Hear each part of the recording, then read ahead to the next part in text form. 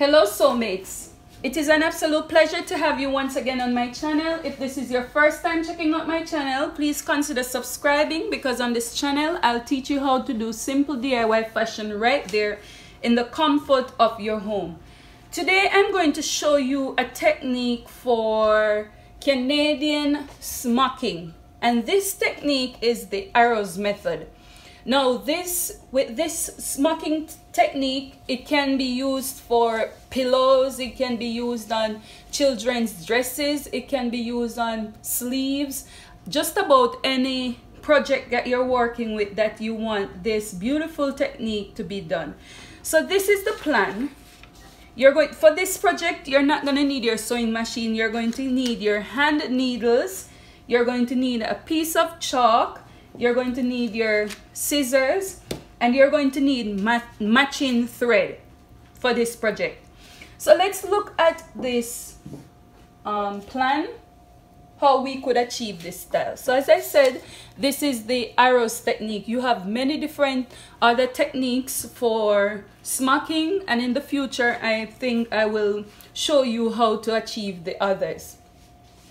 So to get this, what I what you need to do is you need one inch boxes. So these are squares and they are one inch in length. So all the sides are going to be equal.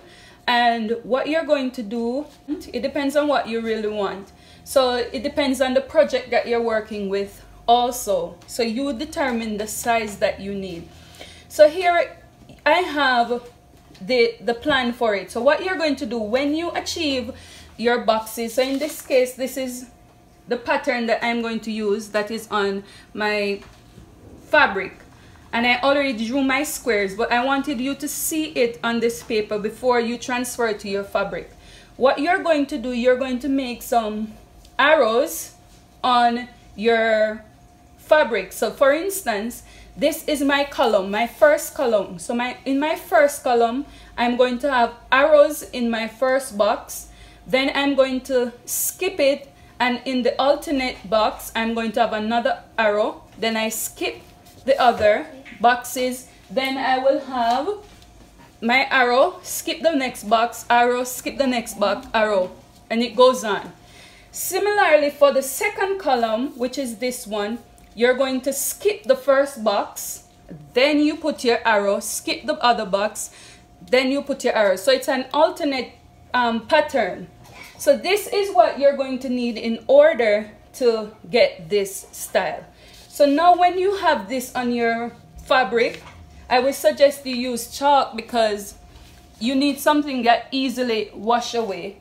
You're going to take your needle and you're going to thread it I did it, I doubled mine because this is gonna stay. So you want it to be as durable and strong and strong as possible. So you're going to take it after you get your boxes, you're going to take take it and the first thing you're going to do is that you're going to go in. So this is my first arrow now.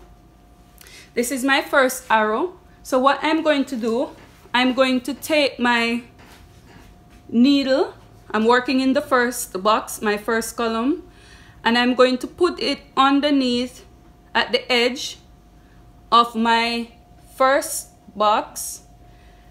I'm gonna pull it up. I'm going to leave also a piece of the tail, uh, maybe about one inch or so tail, or maybe one and a half inch. And then now I'm going to go into the corner of the other box like this. And I'm gonna pull it up. And trying to pick up the same amount each time. You're going to pull it but not too tight as yet. And then you're going to go in. You're going to go in at the bottom of the other of the same box. So this is what I mean. Okay? So you're going to have something that looks like this. So what I did, I went, I went from this corner to the left corner and then I went to the base of the box which is where the arrows meet okay where the the two lines meet okay and then what you're going to do you're going to pull up your thread okay let me put this underneath.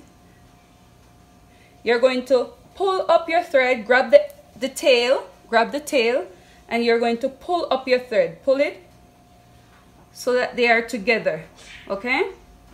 When they're together you're going to tie it as tightly as possible. Tie it because it's gonna stay. You're gonna reinforce that stitch again reinforce that stitch. And I'm gonna do it one more time just because I don't want it to be. And then you're going to snip it off. Okay? So now you're going to go to the next box where the arrows are you're going to do the same thing. You're going to go from the right hand pull it up then go to the left. And then you go to the base. Okay?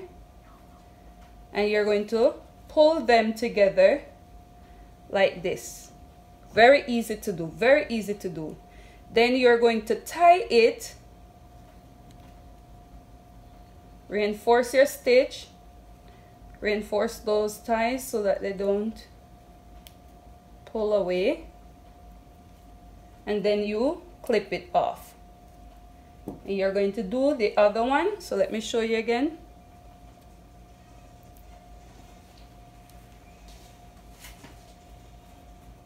You're going to go to your next arrow. Start on the right. Then you're going to leave your tail. Go to the left of the other box.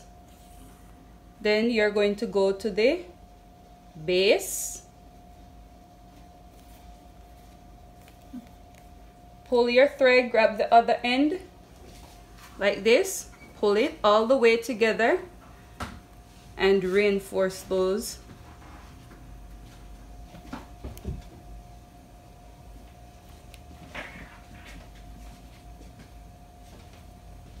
cut it off. And then you just continue. It's quite time consuming but it's very rewarding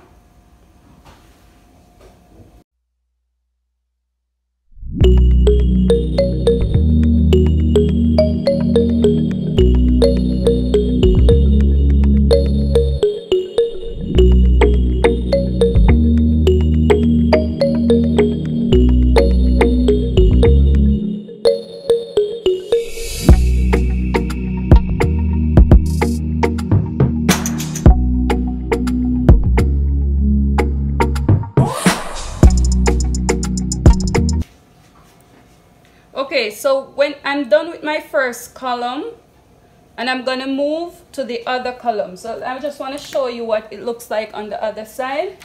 This is what it's gonna look like on the other side of the pattern. So I'm gonna do the other column now. So you're gonna go to the next one which is column two and you're gonna do the same thing. Okay? Pick one side. Move to the next. Then go to the base. Pull your thread up okay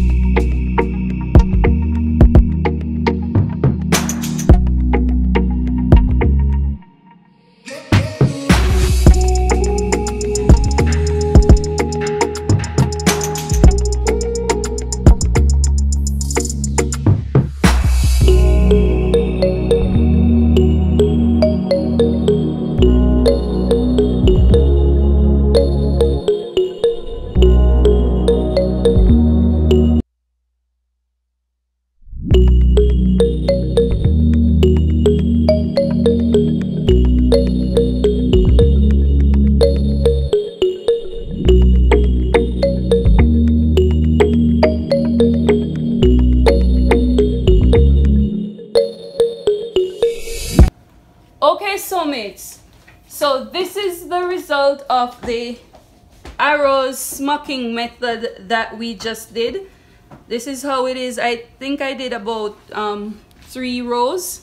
And this is how it looks like. You see how beautiful it is? You can continue to do this. And then when you're done you put it on whatever project you're working with whether it's a pillow or it's a sleeve or any part of the bodice so if you find this video helpful do not forget to give me a giant thumbs up do not forget to subscribe and turn on the post notification bell so you'll be notified each time I make a video.